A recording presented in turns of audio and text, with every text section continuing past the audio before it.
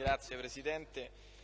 prenderò anche meno. La mozione è figlia di un percorso eh, che abbiamo cominciato circa due anni fa eh, quando praticamente siamo entrati all'interno dell'amministrazione in Commissione Roma Capitale sono state fatte numerosissime audizioni di tutte le strutture di tutti i municipi e si sta concludendo la prima fase con una relazione importante che riguarderà eh, la, lo stato d'attuazione del regolamento sul decentramento amministrativo. Eh, nel do documento unico di programmazione del 2018 sono stati individuati due obiettivi, quello di identificare delle aree di miglioramento attraverso l'osservatorio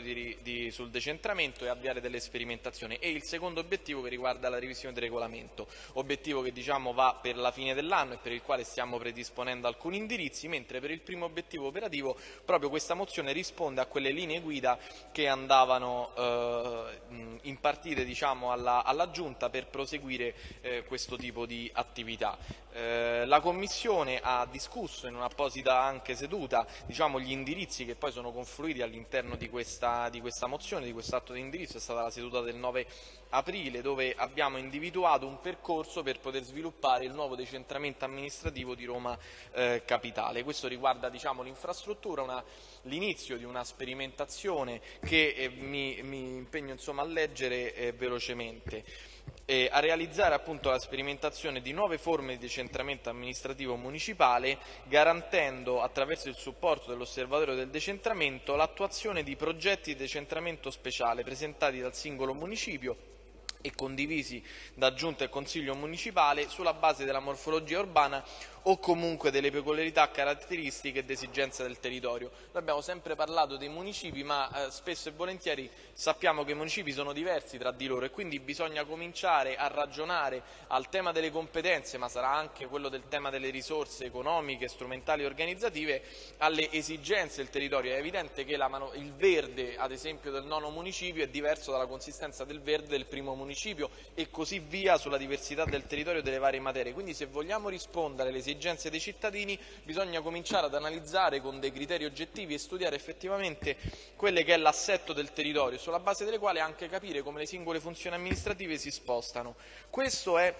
un elemento che però non può essere fatto senza una... Eh, sì, bisogna portarsi dietro anche tutta una serie di un miglioramento della macchina amministrativa e quindi l'ampio decentramento che eh, bisogna eh, raggiungere eh, va fatto attraverso il raggiungimento di alcuni criteri e priorità che eh, diamo diciamo, alla Giunta e che dovranno essere eseguiti, quello di valutare l'esigenza e l'impatto del decentramento sulla collettività, di implementare la trasparenza dell'attività amministrativa, di disincentivare i fenomeni che noi abbiamo chiamato navetta, Presidente, per cui gli uffici dicono non è di mia competenza e un tema diciamo, eh, fa un passaggio continuo senza poi arrivare a una soluzione. Implementare l'autonomia amministrativa e finanziaria dei municipi è previsto nello Statuto di Roma Capitale, nella legge istitutiva di Roma Capitale. La semplificazione dei processi e dei procedimenti che dovrà anche passare nel caso in cui si vada a decentrare alcune o attuare il mero decentramento già previsto all'implementazione anche di sistemi di controllo anche nell'ambito degli appalti e dell'anticorruzione. È evidente che se poi